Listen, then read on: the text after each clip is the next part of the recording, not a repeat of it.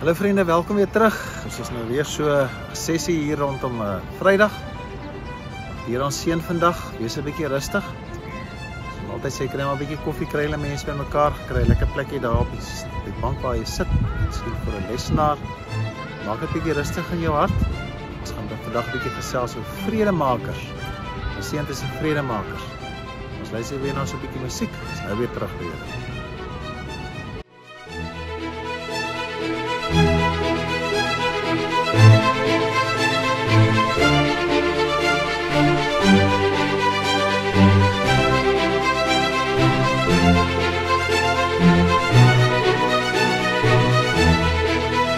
Dag hier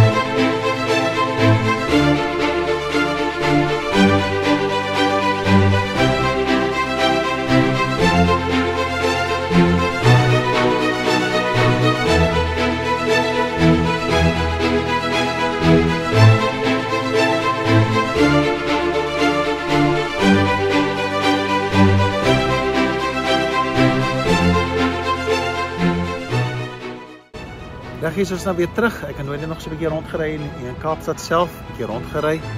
Ons het toe die jo, hierdie kanon kom soek. Hierdie die die middag kanon noem hy cannon noem hulle hom in Engels. Groot moeite gedoen. Jy moet maar mooi kyk. Kyk maar mooi op die GPS. Vat jy na 'n plek toe wat ek nie gedink het in Kaapstad is nie. En toe is by hy kom toe hy toe. Hulle is besig om instandhoudingswerk te doen. Nou staan ons sommer in die parkeerterrein van hierdie uh hierdie plek. Kaapstad so in die agtergrond hier in die Boekap.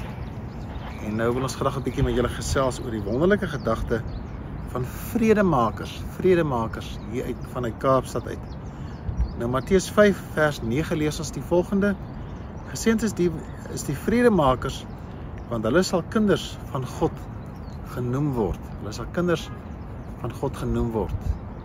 Onthou soos ek vir julle gesê het, die Here Jesus besig om sy disippels voor te berei vir alles wat nog vir hulle sou voorlê veral nadat hy sou weggaan en later aan uh, apostels kom as hy sendelinge sou word vir die hele Europa en en alles rondom die Middellandse See, die Galileëse See oral sou die disippels gaan praat en hy's besig om hulle voor te berei. En hy leer hulle van vrede maak. Seënd is die wat vrede maak. Daardie vredemakers is nie noodwendig iemand wat gaan staan tussen bekleiende partye nie. Maar as iemand wie se lewe uitstraal die van vrede. Dit is dikwels sodat ons in die getuienis van ons Here Jesus Christus wat tussen ons en God kom staan het om vrede te maak in hierdie verhouding met God. Is dit so partykeer is ons vredemakers? Ja, ons gaan staan tussen die partye. Maar daardie vrede kom uit ons hart uit. Mooi teks wat sê ek is 'n oombliekie uit my kop uit nou en ek sal miskien op die lyn sit wat ook sê dat die inisiatief van vrede kom van ons af. Sover ons aangaan met ons 'n vrede lewe met alle mense. Daar word nie gesê ja, die persoon moet eers dit doen of daai doen as hulle vrede wees nie. Onvoorwaardelik altyd is daar 'n bron van vrede wat van ons afkom. Die versoeker hou nie van vrede nie. Oral waar daar onvrede is, meer maar seker wees hy is iewers ter sprake daar, daar daarmee besig daarmee. En as dan wanneer ons dan sê Here kom leer vir ons dat ons die gesindheid en die en, en wie is in die getuienis uitlewe in 'n wêreld dat wanneer mense met ons te doen het, is dit vrede. Ons soek vrede in ons lewe en vrede. Inisiatief van vrede kom van ons af. Nou hier's nou baie geraas hier rondom my. Ek dink hier's 'n klomp klappers of iets wat hier onderskiet en dit klink soos 'n onvrede plek. Maar hier waar ek en jy nou vandag is, is daar vrede in ons harte. Weet nie wat met jou gebeur het in hierdie dag nie. Weet nie die mekaar jou dag sê. Ek weet nie hoe lyk môre nie. Weet nie hoe lyk verhouding met jou familie nie. Partykeer is daar genoeg redes vir onvrede. Maar wanneer ons as kinders van God optree, dan is daar altyd die vrede en mooi getuienis wat jy gesê word van ons sal erken word as kinders van God. Want ons God wat ons dien is 'n God van vrede, nie van oorlog nie. En dis waar die geheim lê. Vrede kom nie uit konfrontasie uit. Vrede kom stil wees en luister en wag op die Here dat hy die regte woorde in jou mond plaas sodat hy verheerlik sal word. Die Here vir onderneem met hierdie gedagte. Ons is vredemakers en daardie word ons erken as kinders van God. Kom ons bid net saam. En hier is op hierdie plek waar daar elke dag 'n kanon gevier word. Ons erken ook Here dat die kanon is 'n teken van oorlog.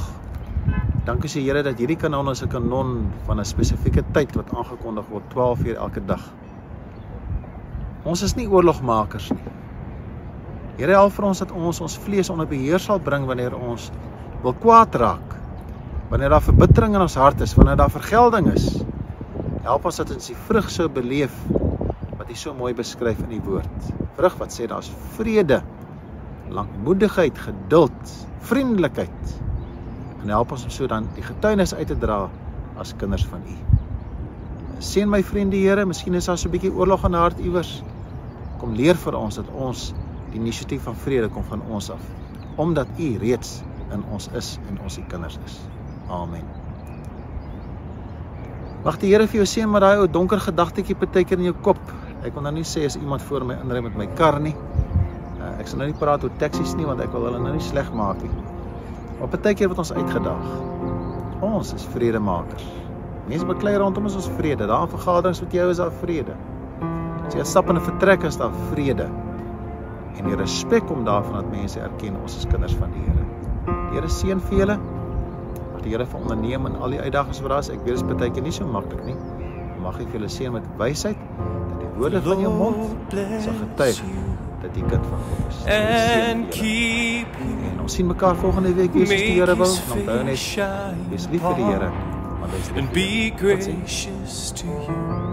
The Lord turn his face toward you and give you peace.